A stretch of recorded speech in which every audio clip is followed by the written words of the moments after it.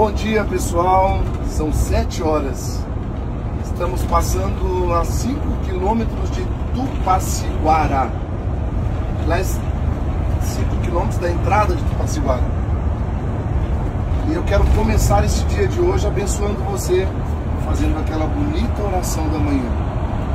Em nome do Pai, e do Filho e do Espírito Santo. Amém. Amém. Divino Jesus, no silêncio deste dia que amanhece, venho pedir-te a paz, a sabedoria e a força. Hoje quero olhar o mundo com os olhos cheios de amor, ser humilde, compreensivo, manso e prudente.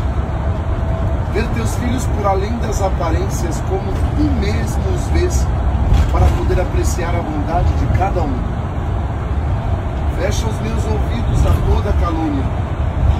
Guarda minha língua de toda maldade. Que só de bênçãos se encha o meu espírito. Que seja tão bondoso e alegre, para que todos que se aproximarem de mim sintam a tua presença.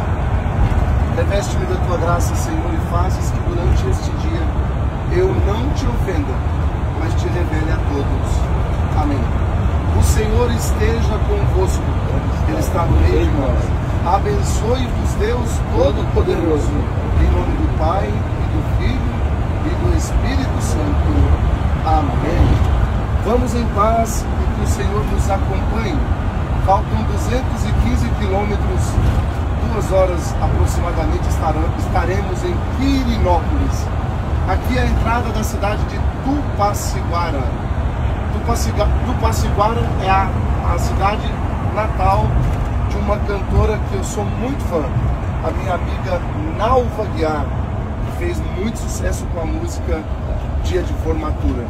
Se ele perguntar